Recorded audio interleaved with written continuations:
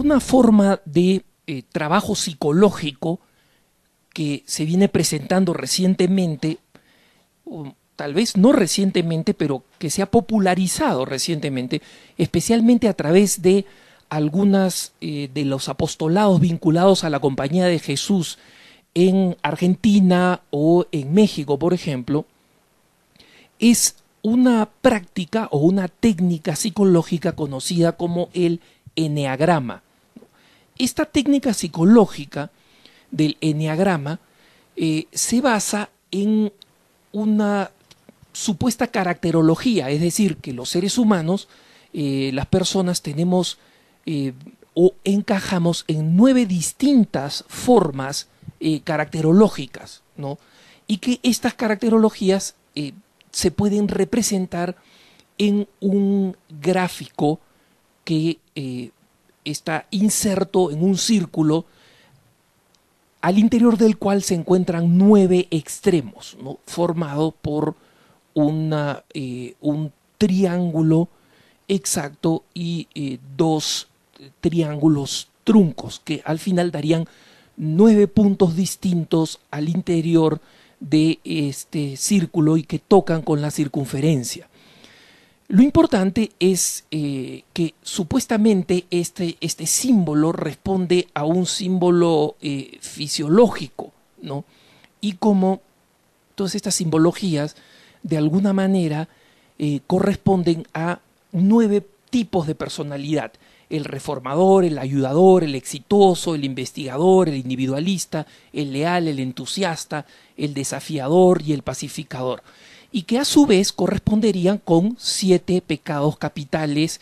Y obviamente acá son nueve figuras y ellos a los siete pecados capitales le agregan un octavo según la antigua tradición cristiana y le, agregan el miedo como una especie de pecado capital también. ¿no?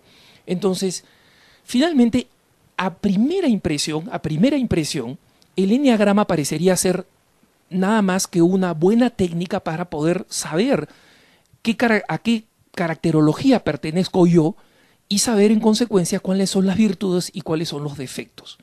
Sin embargo, la cosa no queda allí. El enneagrama, lamentablemente, tanto por su origen histórico como por sus consecuencias, forma parte de esta corriente llamada la nueva era y en consecuencia forma parte también de aquellas doctrinas que tienen todos los problemas de la nueva era y están en consecuencia en el elenco de las cosas que los católicos no deberían asimilar a su propia práctica, sino que deberían más bien tenerla a sana distancia porque, como digo, corresponden a la nueva era. Esto no lo digo yo, lo dice un documento de la Congregación para la Doctrina de la Fe que es importantísimo pero lamentablemente muy poco conocido. El documento se llama Jesucristo, portador del agua de la vida, una reflexión cristiana sobre la nueva era.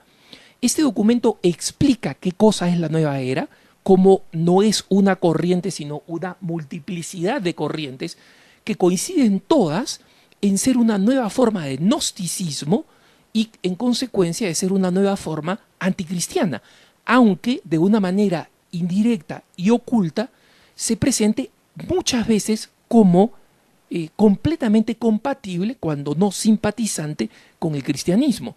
Pero no es un tema de actitudes o de simpatías, no es un tema de que un sacerdote o dos o incluso hasta un obispo o religiosos sean los que lo recomiendan. Ahí no está la garantía. Está en la enseñanza de la Congregación para la Doctrina de la Fe, en la enseñanza de la Iglesia. En este documento que les menciono, Jesucristo portador del agua de la vida, una reflexión cristiana sobre la nueva era, un documento que encuentran en las páginas de Así Prensa, este documento dice lo siguiente, hace una lista de las distintas expresiones o manifestaciones de la nueva era. El channeling, la era de Acuario, el esoterismo, etc. Y en esta lista alfabética enumera el enneagrama como una de las formas de nueva era. Lamentablemente, parece que muy pocos sacerdotes están enterados de esto y mucho menos fieles cristianos. Pero el enneagrama está en la lista. Y esto es lo que dice textualmente el documento Jesucristo portador del agua de la vida. Dice esto. Enneagrama viene del griego enea, nueve, y grama, signo. El nombre designa un diagrama compuesto por un círculo con nueve puntos en su circunferencia, unidos entre sí por un triángulo y un hexágono circunscritos. Originalmente se utilizó para la adivinación, pero recientemente se ha popularizado como símbolo de un sistema de tipología de la personalidad que consta de nueve tipos caracterológicos básicos. El enneagrama, sigo citando el documento, se hizo popular tras la publicación del libro The Enneagram de Helen Palmer, pero la autora reconoce su deuda con el médico y pensador esotérico ruso Gurdjieff. No voy a profundizar ahora en quién es Gurdjieff, pero Gurdjieff es un médico ruso que se fue al Oriente en búsqueda de nueva sabiduría y es uno de los grandes puntos de partida a principios del siglo XX de todo lo que va a ser la nueva era. ¿no? Y dice, eh, el, este documento sigue diciendo, el origen del enneagrama permanece envuelto en el misterio, si bien algunos sostienen que procede de la mística sufí, de la mística sufí. Como saben ustedes, la mística sufí es aquella mística que es considerada por los musulmanes como herética, ¿no? que tiene algunos puntos importantes con algunos aspectos de la mística cristiana, pero que ha sido retomada básicamente en cuanto que es una especie de símbolo de eh, una religión oriental compatible con la nueva era. ¿no? El, este mismo documento eh, Jesucristo portador del agua de la vida de la Congregación para la Doctrina de la Fe, dice lo siguiente, en una parte, en el punto 1.4, eh, cuando habla de los problemas de la nueva era y cómo la nueva era ha introducido o reintroducido este culto a la gnosis, dice lo siguiente, ¿no? La gnosis no ha desaparecido nunca del ámbito del cristianismo, sino que ha convivido siempre con él, a veces bajo la forma de corrientes filosóficas, más a menudo con modalidades religiosas o pararreligiosas, con una decidida, atención, con una decidida, aunque a veces no declarada, divergencia con lo que es esencialmente cristiano. Y miren acá, punto seguido, y dice, un ejemplo de esto puede verse en el eneagrama, un instrumento para el análisis caracterial según nueve tipos que cuando se utiliza como medio de desarrollo personal, introduce ambigüedad en la doctrina y en la vivencia de la fe cristiana. Es decir, cuando este documento quiere poner un ejemplo, el ejemplo que escoge no es ni más ni menos que el del eneagrama. Y para quienes todavía conservan algunas dudas, está el importantísimo testimonio del jesuita de EWTN, el padre Mitch Pagua, a quien tengo el, el gusto de conocer y es amigo eh, personal, quien como jesuita eh, recién ordenado, en la década de los 70 se introdujo en todas estas prácticas y especialmente en la práctica del enneagrama. Y él dice, no hay manera de que el enneagrama, después de haber estado en él, sea compatible con la vida cristiana. Yo renuncié y repudié mi pasado New Age, mi pasado Nueva Era y mi pasado con el enneagrama.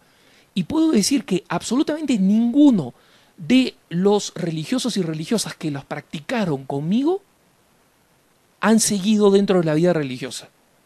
En consecuencia, esto lo agrego ya no como argumento, sino como testimonio adicional de por qué pues el enneagrama no es algo que se debe practicar ni algo que la iglesia aprueba. Por el contrario, existe un documento advirtiendo contra él. Algunos se preguntarán, pero ¿por qué en mi ciudad, en mi país, en mi estado, hay un sacerdote eh, o una religiosa o un grupo católico que lo promueve? Lamentablemente estamos en una iglesia donde existen este tipo de confusiones y donde las personas que deberían conocer y seguir los principios dictados por la Santa Madre Iglesia no lo hacen. Hay que rezar por ellos, pero además hay que advertir a quienes, sin saberlo, pueden caer en las redes de estas desfiguraciones de la fe. Que tengas un buen día.